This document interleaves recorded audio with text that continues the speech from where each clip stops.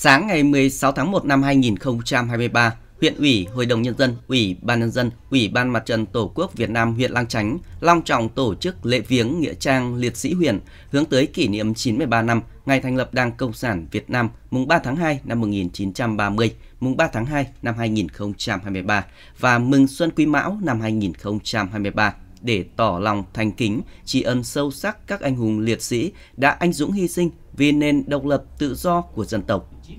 Tham dự lễ viếng có đồng chí Nguyễn Xuân Hồng, Bí thư huyện ủy, Chủ tịch Hội đồng nhân dân huyện, đồng chí Lữ Đức Trung, Phó Bí thư Thường trực huyện ủy, đồng chí Hoàng Văn Thanh, Phó Bí thư huyện ủy, Chủ tịch Ủy ban nhân dân huyện cùng các đồng chí ủy viên Ban Thường vụ huyện ủy, Hội đồng nhân dân, Ủy ban nhân dân, Ủy ban Mặt trận Tổ quốc Việt Nam huyện, các ban ngành đoàn thể, cán bộ công chức, viên chức, chiến sĩ lực lượng vũ trang và nhân dân các dân tộc trong huyện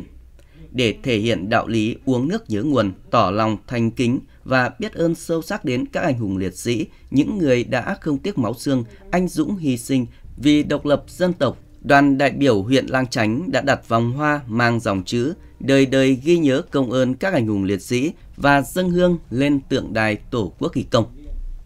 Trong không khí trang nghiêm, các đại biểu đã dành một phút mang niệm tưởng nhớ công ơn to lớn của các anh hùng liệt sĩ sau nghi thức thắp hương và dân hoa tại tượng đài liệt sĩ tri ân đến 338 liệt sĩ huyện Lang Chánh đã anh dũng hy sinh trong các cuộc kháng chiến và thắp nén hương thơm lên 72 phần mộ đang yên nghỉ tại Nghĩa trang liệt sĩ huyện để tưởng nhớ tri ân công lao to lớn của các anh hùng liệt sĩ đã anh dũng chiến đấu hy sinh vì sự nghiệp cách mạng vẻ vang của dân tộc, vì hòa bình, độc lập, tự do, thống nhất đất nước.